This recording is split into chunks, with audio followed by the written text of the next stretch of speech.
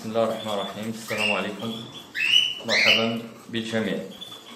موضوع حلقة اليوم غادي نتحدث لكم على مرض النقطة السوداء عند الطيور ديال الكناري والحسون وغنشرح لكم نوعية المرض.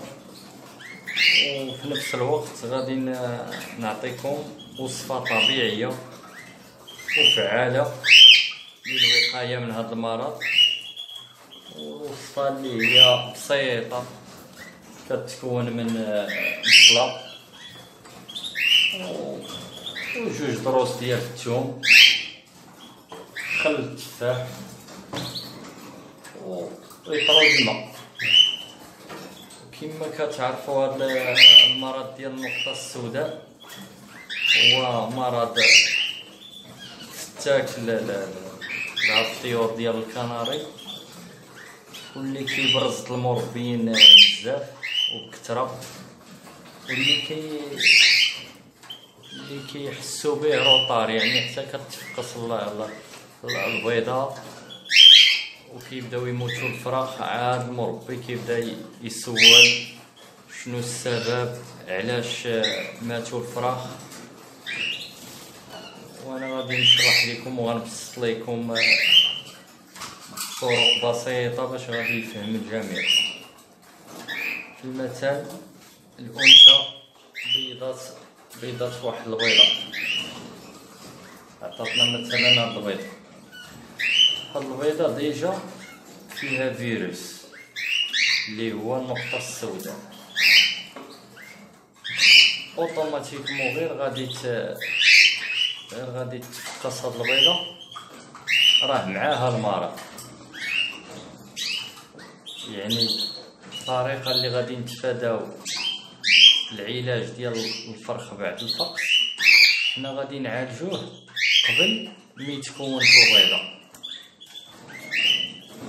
واللي هو هاد هاد هاد الخلطة هادي طبيعية. غادي نعالجو بها الأب والأم. يعني في المثال في المثال هاد الذكر ديال الكنار مثلا هذا ذكر الكنار وهذه أنثى.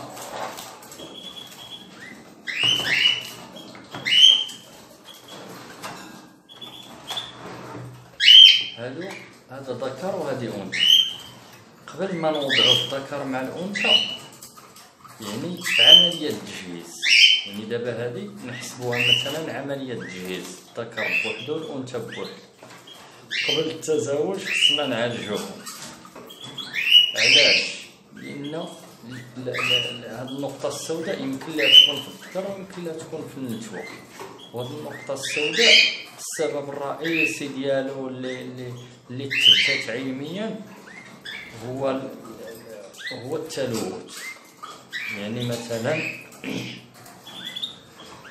الماء مثلا عطيتي الماء اليوم الطير خليتيه يومين ولا ثلاث أيام هذا راه طفيليات هو راه شربهم من الطير هو راه راه عنده طفيليات في الجسم ديالو عطيتيه حبه ديال التمر وخليتيها نهار يومين راه هذيك طفيليات عطيتيه بيض خليتيه أكثر من ستة سوايع هذوك راه طفيليات. حطيتي البراز ديالو هذاك راه كيعطي ريحة هذيك راه تلوث يعني المربي ما كيردش البال هاد الأمور.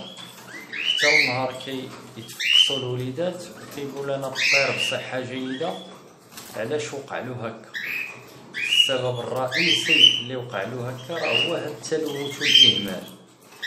هذا اللي كيجعل واحد واحد لي فيروس كيتكونوا في الأمعاء الطائر ومن بعد ما كيلقى حد ذكر الأنثى كيمشي هذاك الفيروس اللي هو النقطة السوداء. ويعني أنجح طريقة باش تتفادى هذا المرض هو الوقاية. الوقاية طريقة سهلة. تعالج. الذكر وتعالج الأنثى قبل عملية التزاوج. اللي هو هاد الوصفة اللي غادي نعطيكم. تدار العام كامل. العام كامل بالنسبة للشتا. مرة في خمسطاش اليوم. وبالنسبة لفصل الصيف مرة في أسبوع. بالنسبة لوقت التجهيز هذا الوقت هذا يعني قبل التزوج ثلاثة المرات في الأسبوع. يعني إلا درتي هاد الطريقة ما عمر الفراخ ديالك غادي يكون فيهم شي مشكل إن شاء الله. وأنا غادي نوريكم هاد الوصفة. غادي نحتاجو. غادي نحتاجو. غادي نحتاجو. الثومة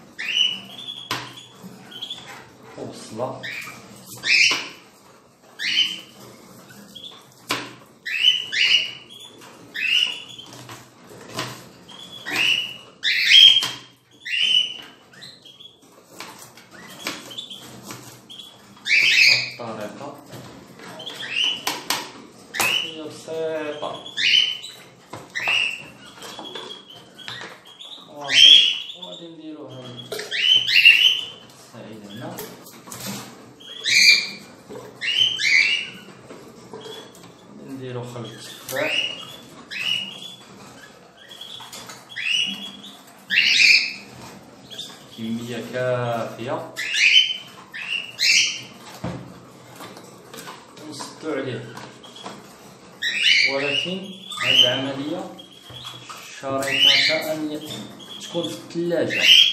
يعني نوضعوها في الثلاجة ربعة وعشرين ساعة. ومن بعد نصفيوها من الثومة والبصلة ونعمرو المشربية ديالنا. ونعطيوها للطير. تبقى ستة ديال السوايع في القفص. ومن بعد تحيدها وديرلو المعادي ديالو. وهذه راه وقاية بسيطة أمور طبيعية وكتجنب بها أمراض كثيرة. بهذه الطريقة هذه إن شاء الله ما غاديش ما يكونش عندك مشكل مع النقطة السوداء. وبالنسبة للإخوان المربين ولا هذا اللي كي يشريو فراخ على برا من أصدقاء ديالهم ولا من الأسواق ولا هذا. من الأحسن منين يجيب الطائر يجهزو واحد الشهر يوجدو يداويه وعاد يدخلو لعند الفراخ ديالو باش ما يكونش ديك العدوى. لأن الوقاية مهمة هي اللي كتخدم عليك العام كامل. لأن إلا كان الطائر بصحه جيدة غيخدم لك. العام كامل ويكون عندك موسم تبارك الله مخير هادو بعد الأنواع اللي عاد جبتهم. غادي نخدم بهم هاد العام إن شاء الله.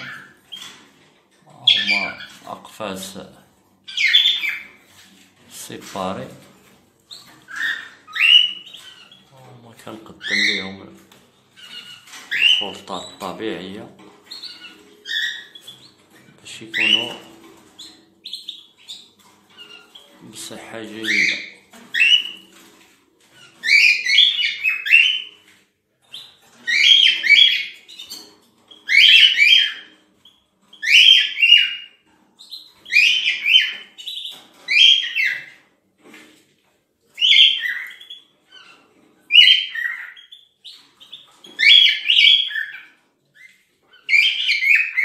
حتى المسألة ديال يكونوا في أقفاص فردية. مسألة مهمة يعني بعد العصافير كتكون فيهم بعض الأمراض. ما كتعرفش الفرخ شنو فيه. والمصدر منين جاي. يعني من الأحسن كتشدو كتخدمو على يديك. عاد كت عاد كتخلطو مع الطيور الأخرين. كتكون عارفة اش كدير